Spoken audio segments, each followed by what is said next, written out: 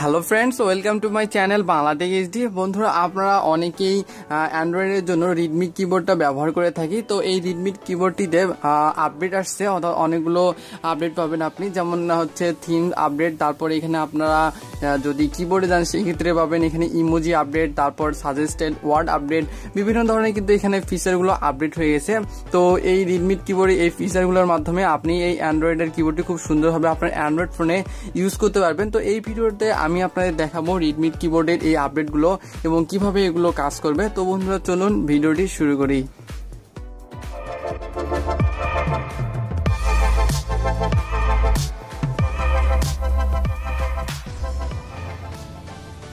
যারা বন্ধুরা আমাদের এই চ্যানেলটি এখনও সাবস্ক্রাইব করে রাখেনি তারা এই চ্যানেলটি এখনই সাবস্ক্রাইব করে নিন। সাবস্ক্রাইব করলে আপনারা সবার আগে আমাদের নতুন নতুন ভিডিওগুলো পেয়ে যাবেন এবং খুব সুন্দরভাবে দেখতে পারবেন।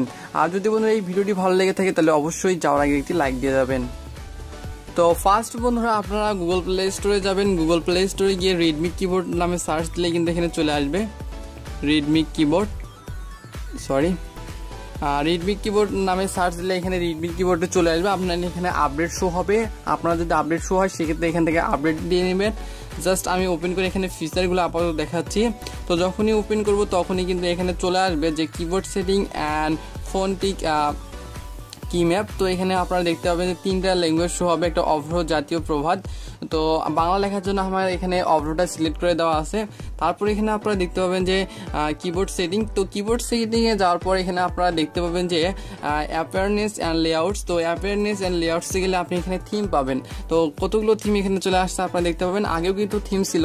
তো বর্তমানে এখানে আপডেট হয়েছে। থিমগুলো হচ্ছে দেখেন এখানে ম্যাটেরিয়াল ডার্ক ম্যাটেরিয়াল লাইট তারপরে হলো হোয়াইট হলো ব্লু পিঙ্ক কালার বিভিন্ন ধরনের এখানে কালারে কিন্তু চলে আসছে। তো আপনারা কিন্তু খুব সুন্দরভাবে এই থিমসগুলো আপনার কিবোর্ডে ইউজ করতে পারেন। তারপর বন্ধুরা ব্যাক হয়ে আসব। ব্যাক হলে এখানে আপনি আরও একটা সেটিং দেখতে পাবেন যে টেক্সট কারেকশন এটি একটি অনেক বড় ফিচার তো এখান থেকে আপডেট আসছে। দেখবেন যে এখানে ব্লগ অফেন্সিভ ওয়ার্ডস তারপর এখানে দেখবেন যে অটো কারেকশন আপনার যদি লিখতে কোনো ওয়ার্ড ভুল হয়, সেক্ষেত্রে কিন্তু অটো কারেকশন হয়ে যাবে। তারপর এখানে শো কারেকশন সাজেশন তারপর দেখবেন এখানে আপনি যদি টাইপ করতে থাকেন, সেক্ষেত্রে পরের যে ওয়ার্ডটা চলে আসবে তা সাজেস্ট করবে আপনাকে যে এই ওয়ার্ডটা লেখার জন্য। এখানে আরও আছে যে কন্ট্যাক্ট সাজেস্ট কন্ট্যাক্ট ড্যাম তারপর নিউ টেক্সট সাজেশন অর্থাৎ নিউ ওয়ার্ড সাজেশন অর্থাৎ ওয়ার্ড সাজেস্ট করবে এখানে। অর্থাৎ অনেকগুলো কিন্তু সেটিং এখানে আছে, আপনারা সবগুলো এখান থেকে অন করে দিবেন। যদি অটো কারেকশন অন করে দেন, সেক্ষেত্রে আপনার কোনো ওয়ার্ড ভুল হলে সেটা কিন্তু অটোমেটিক কারেকশন হয়ে যাবে।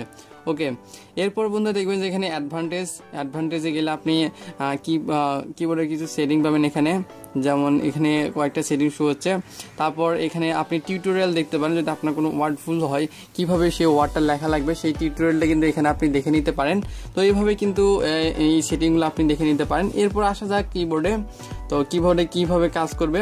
আমি জাস্ট এখানে দেখাচ্ছে আপনাদের কিবোর্ডটা জাস্ট কিবোর্ডটা এখানে সিলেক্ট করে দিচ্ছে রিডমি কিবোর্ড তো সিলেক্ট করে দেওয়ার সাথে সাথে দেখবেন বন্ধুরা, এখানে কিন্তু চলে আসছে। অর্থাৎ আমি থিম এখানে সিলেক্ট করেছি পিঙ্ক কালার এখানে আর অনেক থিম আছে, সেই থিমগুলো আপনি ব্যবহার করতে পারেন।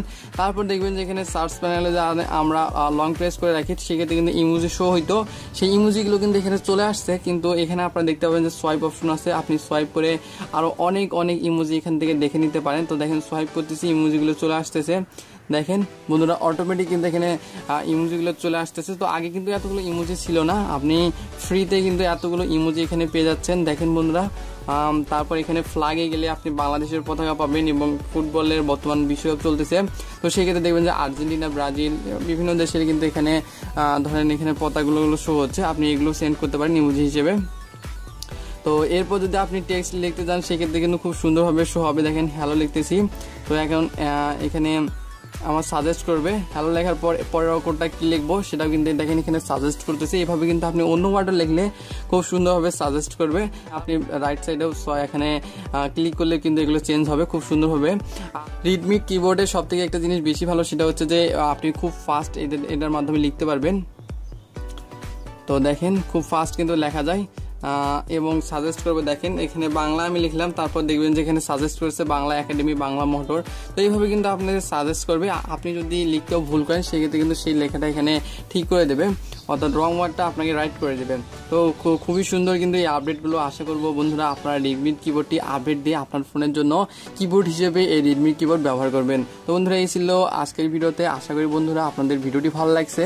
যদি বন্ধুরা ভিডিওটি ভালো লেগে থাকে, তাহলে অবশ্যই একটা লাইক দিবেন কমেন্টস করে আমাদের জানাবেন যে কেমন লাগল এবং নতুন নতুন আরও অ্যান্ড্রয়েড টিপস অ্যান্ড ট্রিক্সের ভিডিও পাওয়ার জন্য চ্যানেলটি অবশ্যই সাবস্ক্রাইব করে রাখবেন। সবাই ভালো থাকবেন। আল্লাহ হাফেজ।